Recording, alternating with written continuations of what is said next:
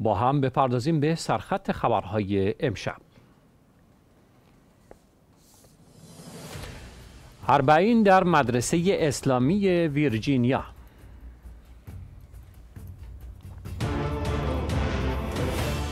پاپ فرانسیس وارد اندونزی پرجمعیت ترین کشور مسلمان جهان شد.